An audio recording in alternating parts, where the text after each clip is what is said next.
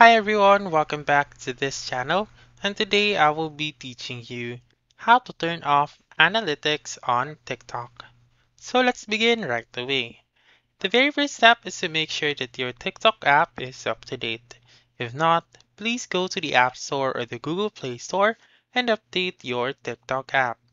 Afterwards, just simply open your TikTok app and then click on your profile found on the lower right corner and click on the three lines found on the upper right corner.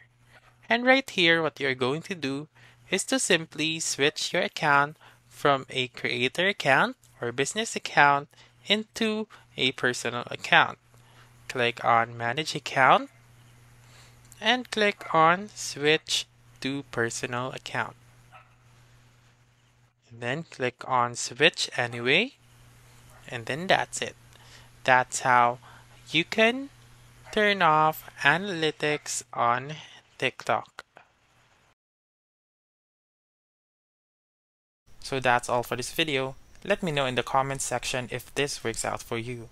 For more helpful tutorials like this, please subscribe to our channel and don't forget to click that notification bell. Thank you for watching and have a wonderful day.